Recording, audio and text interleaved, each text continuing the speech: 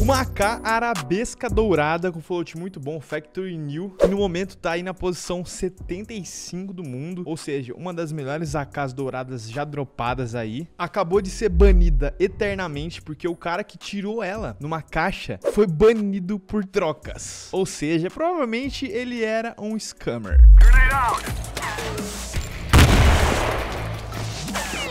Got him.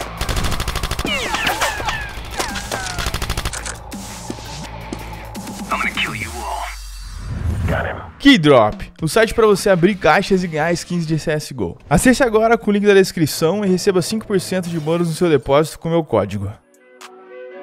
A gente vê vários comentários aqui indicando que ele era um trader mais rap, mais rap desde 2014. Porém, quando a gente chega aqui em 2015, ele tomou um menos rap aqui, mano. Sempre desconfio também de jogadores que tem muito comentário com mais rap. Geralmente é um monte de perfil fake comentando em um perfil de um scammer. Fato é que esse jogador já tinha algumas skins no inventário dele, ó, M9, Fire Serpent, Ocean Blue. E como mostra aqui no FloatDB, ele conseguiu fazer um unboxing aí de uma AK AK Arabesca Dourada 0.02, 4 dias atrás de quando eu tô gravando esse vídeo, que é uma skin sensacional, ele poderia ter esperado liberar e vender, por exemplo, no Buff por 15 mil reais, ou então colocar ali na Steam por 10 mil, que é o limite, e venderia na hora. Mas não, meus amigos, ele foi banido do CSGO. Eu não sei se esse ban que ele tomou, né, trade ban, é eterno, tá aqui no perfil dele que ele vai ser desbanido até 2025. Enfim, eu tô confuso, eu não entendi nada, eu não sei se esse cara foi banido agora, se ele já foi banido faz tempo, tempo e mesmo assim ele tá usando ainda essa conta. Fato é que essa K dourada de 15 mil tá banida. Ah, e o inventário dele é privado, senão eu mostrava aqui tudo pra vocês.